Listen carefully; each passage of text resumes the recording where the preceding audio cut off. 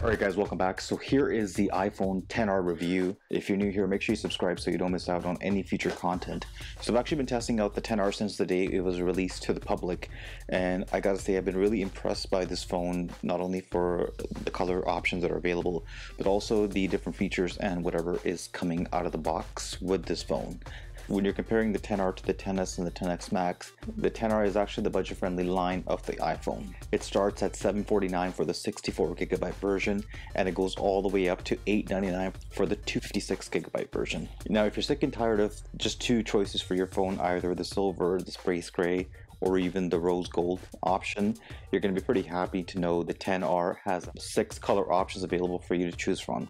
Personally, I went for the product red version because that's the only product from the 10R line that actually donates a portion of the sales to the HIV and AIDS research. Now, in order to keep the price point down and keep the 10R below the thousand level mark, Apple had to make some sacrifices in some of the key components of the phone. The most obvious one will be the screen of the phone. It's not an OLED screen found on the 10s or the 10s Max, the 10R actually has an LCD screen. The reason why Apple decided to go with the LCD panel, it's a little bit cheaper than the OLED counterparts. And the reason why Apple decided to go with the LCD panels compared to the OLED, it's simply because of the price factor. Had they gone with the OLED panels for this phone, the price would have been a little bit higher, I think probably the same amount as the 10s. Now when it comes down to the display of the phone, the 10R has a beautiful screen. It's 6.1 inch screen, which is actually bigger than last year's iPhone 10 model. And I must say the product red color found on this series has been really good. It's bright and colorful. So gone are the days of touch and traditional home screen buttons.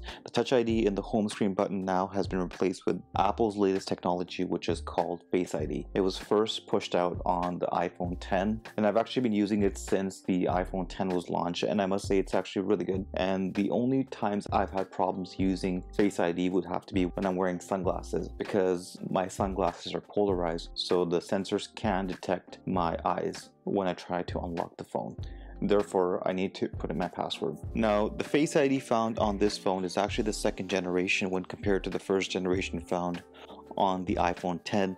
The second generation is actually much faster when unlocking the phone and approving payments. And what I've actually found is I was able to unlock my phone a little bit further away than my 10. Now, instead of having that home button at the bottom of your phone, you're actually given just a little bar at the bottom, which comes with a whole different range of gestures to use when you're unlocking the phone, switching between apps, or even closing an app. Now, if you are going to be coming from a Touch ID device, the new gestures will be a little bit of a learning curve, but I promise you, after you've used them for a while, You'll get used to them and they'll become second nature to you. Unlike the dual camera system found on the 10s and the 10s Max, the 10R actually has one single camera. It's a 12 megapixel f 1.2 wide angle camera. Now before you write this camera off, do keep in mind this camera is absolutely amazing and it takes great photos and you can now record up to 4K 60 frames per second and using this camera. Or if you prefer super smooth videos, you can record up to 240 frames per second at 1080p. Now, if you are going to be creating content such as taking pictures, videos, recording super smooth videos,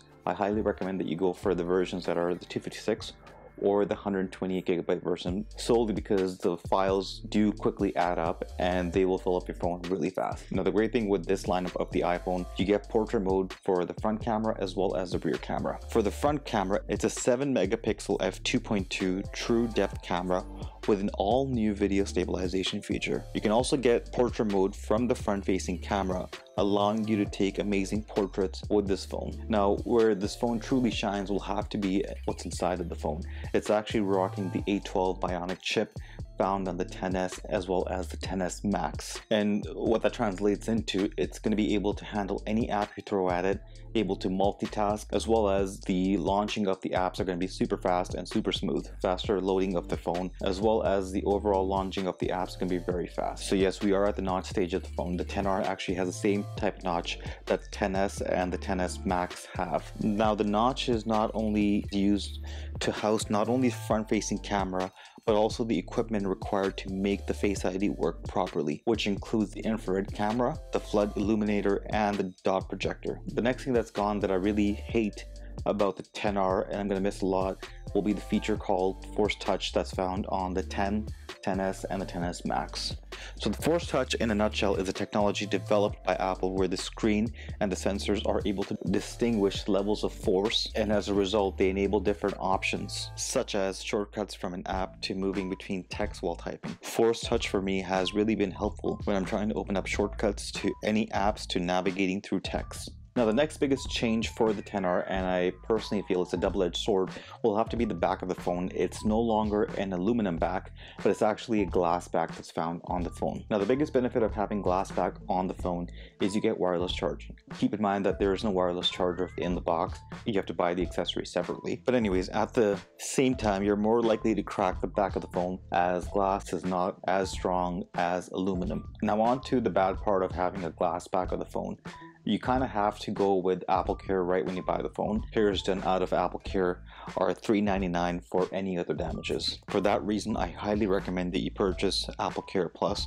with this phone. Now on to the performance of the phone, everything has been quick and snappy because of the A12 processor and anything that I've thrown at the phone has been handled with ease. So in conclusion, the 10R has a lot of parts missing that are found in the traditional 10S and the 10S Max line, but at the same time it's a wonderful phone for what's inside of the device such as the processor, the features found, the camera, as well as the size of the screen. I hope you guys enjoyed watching this review.